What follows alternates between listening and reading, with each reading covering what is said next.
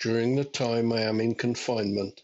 I hope you will not be remiss in seeing that the crops of apples and pears I purchased are got in good time, that on my return they may be ready to be transformed into that delicious liquid cider and perry.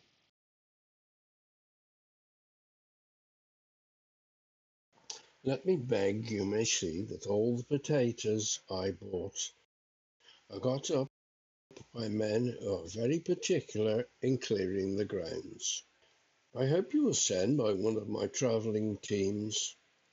a hogshead of the best cider to treat my unfortunate companions with,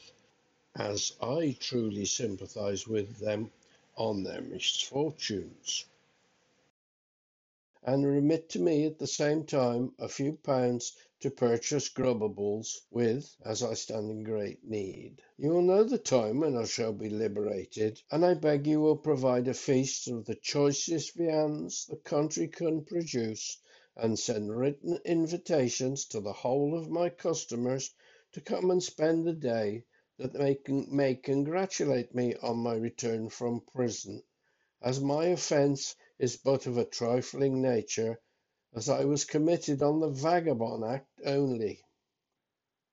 If you have no small bills, you need not go to the bank, as the shopkeeper, who committed me for snoozing under his hayrick, will no doubt let you have a few pounds of tobacco for me till you can conveniently discharge the demand, as it is considered a very salutary herb in a place of confinement.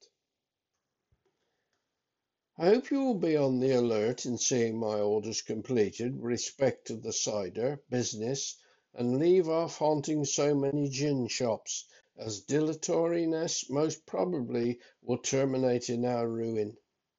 If you choose, may procure an apron or two full of ballads of the best authors, as, though we are a little advanced in life, I think the country fairs would seem quite unfurnished without us.